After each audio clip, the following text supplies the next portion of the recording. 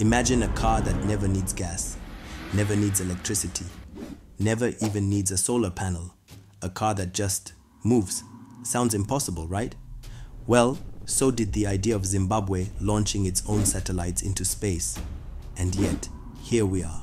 Zimbabwe has taken another significant step in space exploration with the launch of its second satellite, ZimSat-2.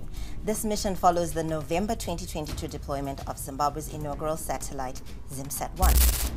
While the world was busy watching SpaceX and NASA, Zimbabwe, a country better known for its economic struggles, Let's go on over to Zimbabwe now, where the economy is in rapid decline, with inflation now sitting at around 500%. Zimbabwe, a country better known for its economic struggles, was quietly building a space program that's now launching its third satellite, ZimSat-3.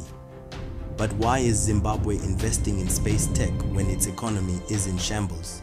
Is this a bold strategy for the future or just another government flex? Let's find out. Five, four, three, two, one. Engine ignition.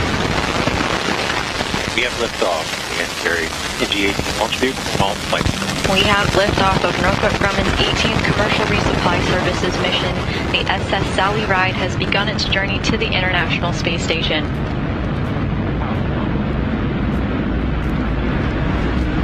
The first stage is performing norm- nominally so far.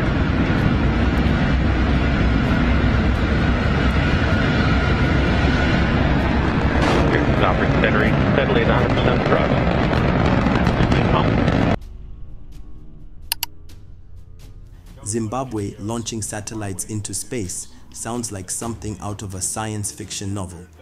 For decades, the country has been in the headlines for all the wrong reasons economic collapse, political instability, and record breaking inflation. But behind the scenes, Zimbabwe has been making quiet but steady progress in space technology.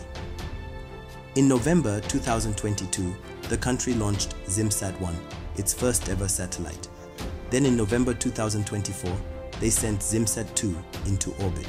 The ZimSat-2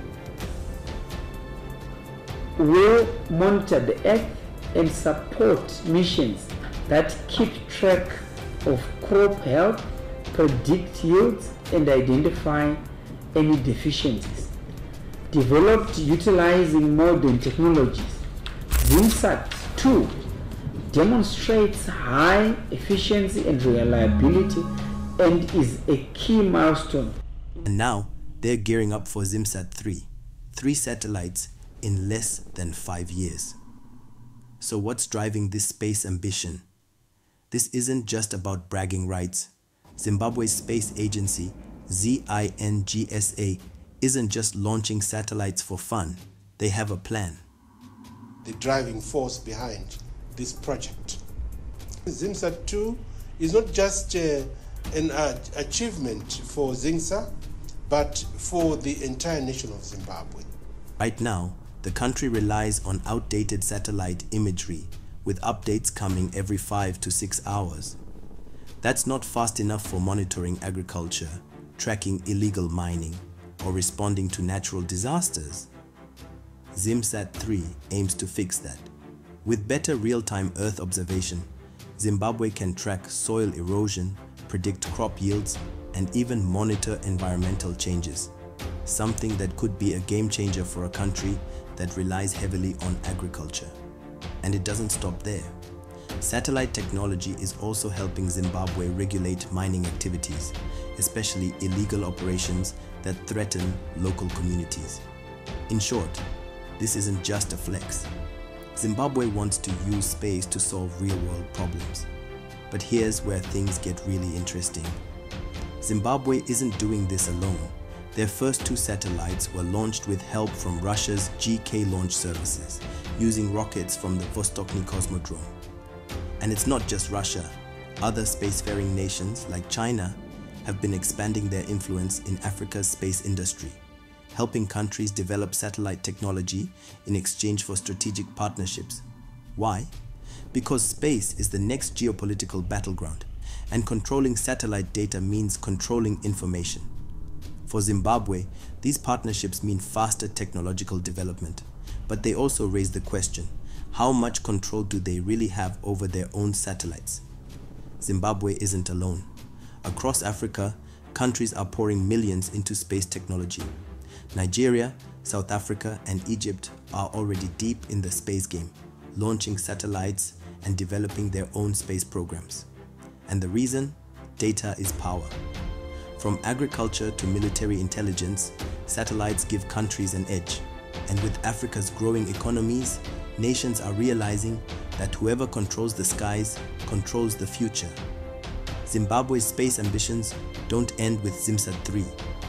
The government is upgrading the Mazoe ground control station, developing communication satellites, and pushing for more advanced technology. But the real question is, will this actually benefit Zimbabwe's economy? Or is it just another expensive project with no return on investment? Now I don't really know how it's going to help us in the future. Or it's just a continuation. If done right, Zimbabwe could become a major player in Africa's growing space industry.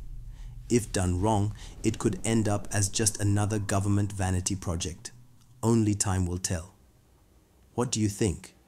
Will Zimbabwe's space program pay off?